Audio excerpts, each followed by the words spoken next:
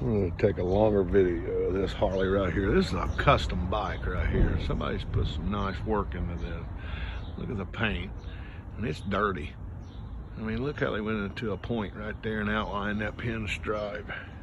Put the Harley Davidson and outlined it. Went to a point. That front fender, and forks, and two LED lights in the front. I mean, she's she's nice. These floorboards, and she's nice. She's rode though. That's what they're for. So you like these videos, press like. Look at that seat. I bet she's a comfortable ride. I bet she is. All the way. But, uh, figured I'd put this on there. People can enjoy these Harleys. I love these Harleys. Look at that right there. That's just laid out just right. Subscribe to my fancy rides and bikes.